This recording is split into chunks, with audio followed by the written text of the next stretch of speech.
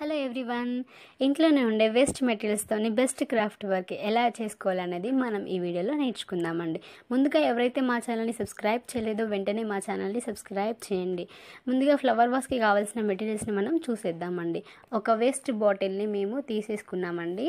అలాగే ఒక gold colour టేప్ని కూడా తీసేసుకున్నాము. అలాగే ఒక బ్లాక్ కలర్ ఫ్యాబ్రిక్ పెయింట్ ఉంటుంది కదండి అది కూడా గ్లా బాటిల్కి అప్లై చేయడానికి తీసుకున్నాము. ఒక brush and scissors. Fevicol and fabric glue ఉంటుంది కదండి అది కూడా ఒకటి తీసుకున్నాము. ఒక వేస్ట్ బౌల్ అండ్ ఒక గ్లాస్లో కొన్ని వాటర్ కూడా తీసేసుకున్నామండి. అలాగే గోల్డ్ కలర్ లేస్ని డెకరేట్ చేయడం కోసం మేము తీసుకున్నామండి అది. మన ఇంట్లోనే ఉండే వేస్ట్ క్యారీ బ్యాగ్స్ ఉంటాయి కదా కలర్వి సో అందులో నేను ఒక రెడ్ కలర్ని చూస్ చేసుకున్నానండి అది ఫ్లవర్స్ చేయడం కోసం. అలాగే గ్రీన్ కలర్ పేపర్ టైప్ క్లాత్ని కూడా తీసుకు ఇంకెందుకండి ఆలస్యం let's go to our video.